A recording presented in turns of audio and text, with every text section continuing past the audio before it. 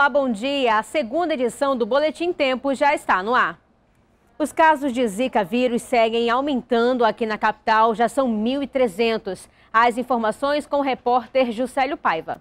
A Secretaria Municipal de Saúde divulgou mais um boletim epidemiológico do Zika vírus. Até o momento, são 1.300 casos confirmados da doença aqui na capital, sendo 212 em grávidas. Agora, o que chama a atenção é o aumento de 400 casos da doença em apenas uma semana. No dia 19 deste mês, a Censa tinha confirmado 902 casos do Zika vírus aqui em Manaus, sendo 199 em grávidas. O medo principal é a transmissão da doença em crianças por causa da microcefalia.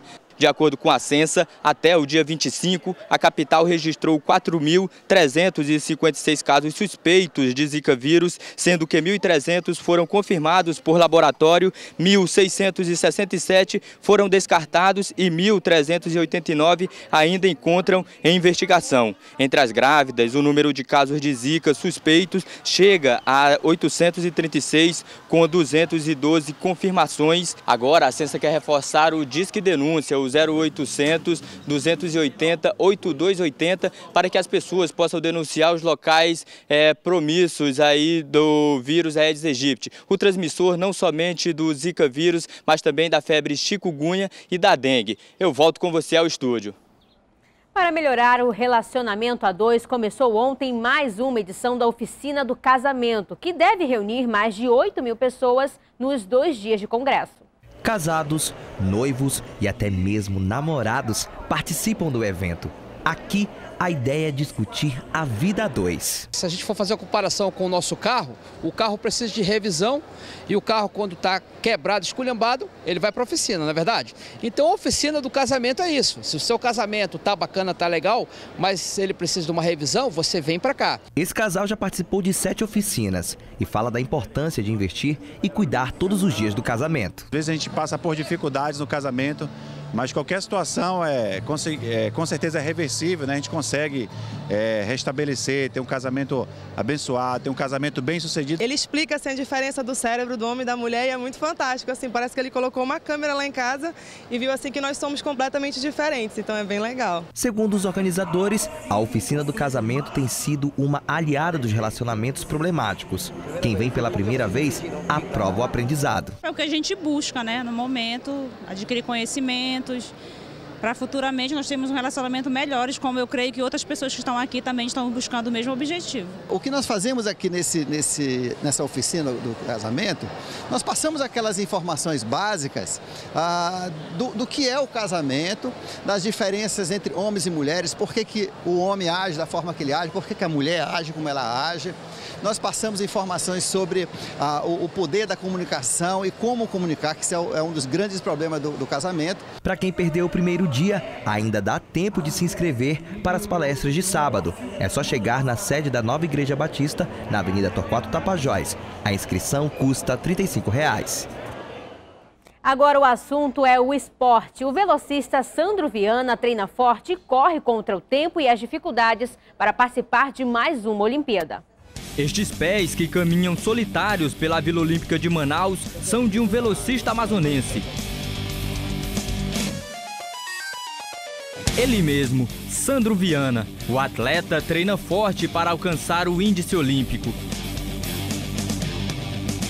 Sandro voltou aos treinos essa semana depois de uma lesão. É uma lesão com a musculatura esquelética difícil de trabalhar porque ela é muito responsável por quase todos os movimentos que eu executo no atletismo. Então não dá para fazer quase nada, tive que ficar bem, bem em repouso, tive que é, largar o treino para depois recuperar de novo para que ela tivesse tempo para se recuperar. Mas foi a melhor coisa que eu fiz e agora eu estou melhor. O menino de Manaus começou tarde na carreira, aos 24 anos, idade avançada para atletas de alto nível. Mas para quem nasceu para ser campeão, isso foi o de menos. Sandro integrou o time do revezamento 4 por 100 metros rasos, que ficou com a medalha de ouro no Pan-Americano do Rio de Janeiro em 2007. Mas ele quer muito mais. Sandro Viana é um verdadeiro campeão. Aos 39 anos, o amazonense traz na bagagem duas Olimpíadas, Pequim 2008 e Londres 2012. Hoje, ele treina onde tudo começou, para quem sabe, daqui a 70 dias,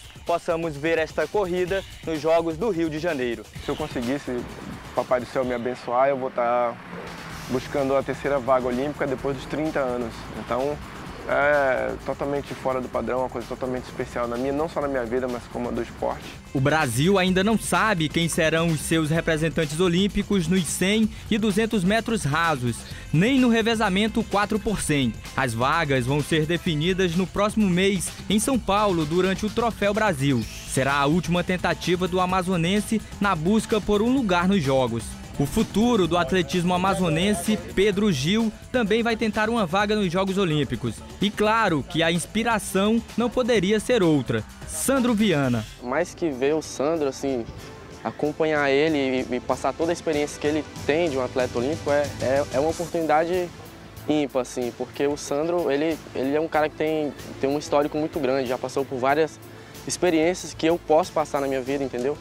Então ter o Sandro por perto, como acompanhar, como, como, é, é, é, como se fosse um ancião do esporte, para mim é uma honra muito grande. Mas Sandro já faz parte das Olimpíadas. Ele foi um dos escolhidos para carregar a tocha olímpica no dia 19 do mês que vem, aqui em Manaus. Eu sei da responsabilidade que é carregar uma tocha olímpica, não apenas um momento de ostentação ou nada parecido. Eu sei da responsabilidade que é trazer o movimento olímpico para a cidade como Manaus, que sempre, é, e o estado do Amazonas, que sempre incentivaram o esporte de alto rendimento, o esporte olímpico. E eu, eu vejo a satisfação das pessoas de praticamente de alívio de saber que eu sou um dos condutores da tocha, até pela minha história e tudo que eu fiz, né? Então vou estar muito feliz. Feliz estamos nós, Sandro, e que esse seu suor de hoje se transforme em lágrimas de alegria amanhã. Melhor, em agosto, no Rio de Janeiro.